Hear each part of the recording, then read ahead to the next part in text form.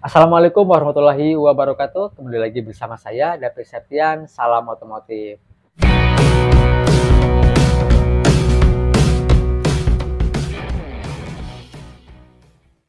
Nah, di video kali ini saya akan membahas tentang masalah ban, yaitu ban mobil, dan kita akan bahas tentang masalah pergantian, pergantian ban antara ban dari ban standar ke ukuran yang lebih besar, dari yang kecil ke yang lebih besar, lebih tinggi. Dan pastinya kalau mengganti ban ukuran yang lebih besar pasti ada kekurangan dan kelebihannya. Itu kembali lagi ke para sobat semua, apakah mau ganti apa tidak. Yang pastinya saya akan menyampaikan Eh, berikut-berikut kekurangan dan kelebihannya. Sebelum melanjutkan ke videonya, silahkan yang belum subscribe, silahkan klik tombol subscribe-nya dan jangan lupa aktifkan tanda loncengnya. Baik, ini kita akan bahas masalah kelebihannya ini. Kelebihan apa kekurangan dulu ya? Oke, kita akan bahas kelebihannya dulu ya. Nah untuk kelebihannya, ganti ukuran yang lebih besar, saya tuh nggak gampang benjol. Beda contohnya kayak mobil Brio yang Brio Ring 15 itu kan ukuran standarnya itu 185 55 ring 15 185 itu lebarnya dan 55 itu tingginya dan 15 itu adalah ringnya nah kita ambil yaitu masalah tipisnya tingginya yaitu 55 kalau 55 itu untuk di ban itu sangat tipis sekali kalau ada nginjek lubang kena benturan kena batu apa itu pasti cepat uh, benjol rata-rata. Coba lihat aja. Kalau ukuran yang lebih kecil uh, tipis, yang tipis itu kebanyakan ban ban mobil itu pasti benjol. Tapi nggak semua. Tapi rata-rata kebanyakan itu benjol. Beda sama ukuran yang lebih tinggi. Ya contohnya mobil coba aja Pajero.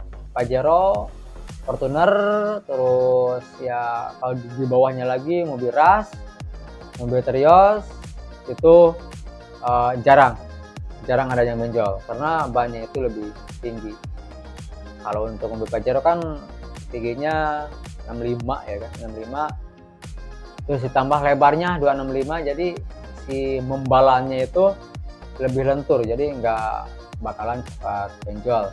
Dan mobil juga sama jarang benjol. Beda kayak ukuran ya kayak Honda Jazz 185 55 dan 16 ada juga 195 50 16 185 55 ring 15 mau ban aja mau Achilles mau Bridgestone mau Dunlop mau Acelera mau apa tetap kebanyakan itu sangat pasti berjuang rata-rata.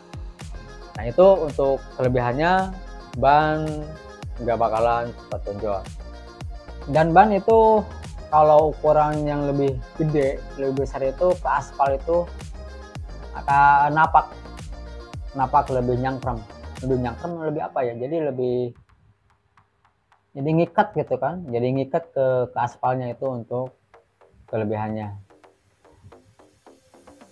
dan ada lagi keuntungannya itu ya kelebihannya. Bila ada jalan berlubang tahu sendiri kan kalau jalan kita kan jalan jalannya sangat jelek sekali banyak lubang.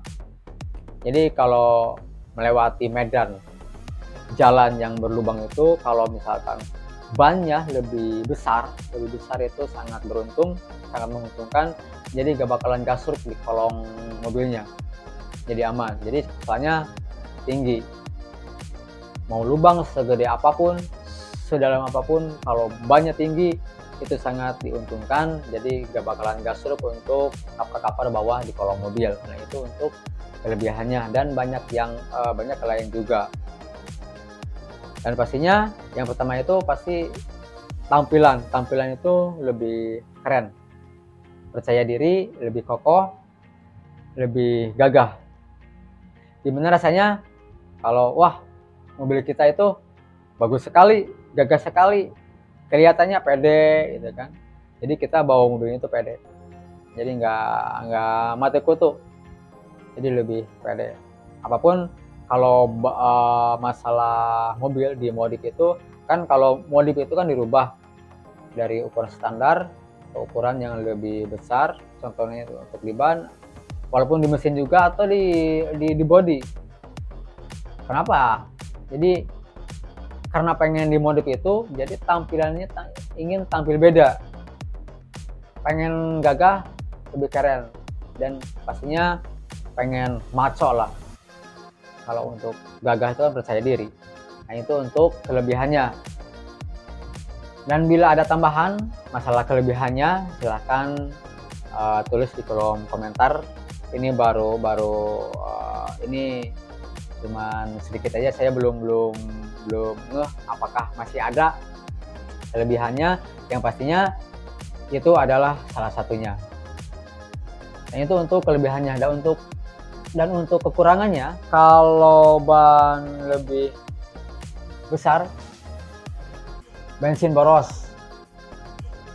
Dan selanjutnya tarikan lebih berat jadi nggak enteng seperti standarnya karena uh, dirubah jadi ukuran yang gede. Pastinya tarikan jadi jadi berat lah jadi berat.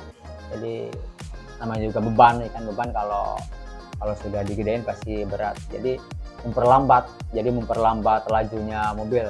Tapi itu biasanya kata orang-orang yang sudah mengganti ban ukuran lebih besar itu emang agak sedikit berat tapi untuk di awal tapi untuk uh, sudah laju mobilnya kencang itu sangat enteng sekali. Itu untuk kekurangannya. Dan biasanya kalau untuk ban yang lebih besar kekurangannya itu lebih berisik lebih berisik. Jadi aman-aman aja sih sebenarnya. Tergantung uh, ini kembali lagi ke pengguna mobil. Dan itulah kekurangan dan kelebihannya Cukup sekian dari saya, semoga bermanfaat. Bila ada tambahan, silahkan uh, tulis di kolom komentar. Bila ada tambahan, kita diskusi aja. Terus bila berkomentar, baik dan sopan, kita diskusi aja. Mudah-mudahan yang nonton, terus yang baca-baca komen bisa terinspirasi bahwa kekurangan dan kelebihannya itu silakan bebas. Cukup sekian dari saya. Wassalamualaikum warahmatullahi আমার